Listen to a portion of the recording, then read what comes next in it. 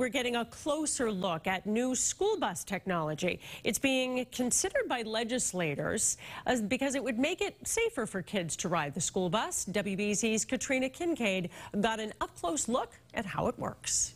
Massachusetts lawmakers are considering legislation that would allow video cameras on school buses that capture vehicles who don't stop for buses with their lights on and then ultimately take action against that driver.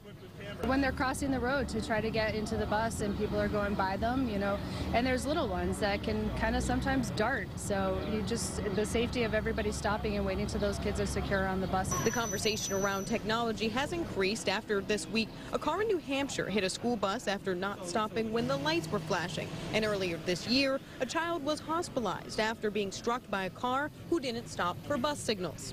It's a free service to school districts and school departments. Here's how it works. These cameras will capture anybody who potentially goes past a stopped school bus illegally. Then they will take the picture and send it to law enforcement. Law enforcement then reviews that photo, and if they find that someone has indeed violated the law, then the company sends a fine to that person.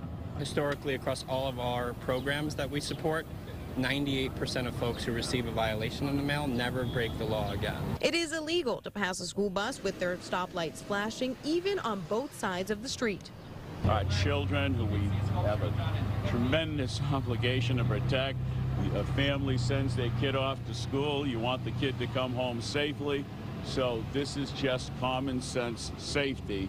If Amendment 136 is passed, then Massachusetts would be joining 20 states and including this technology on their school buses. In Boston, Katrina Kincade, WBZ News.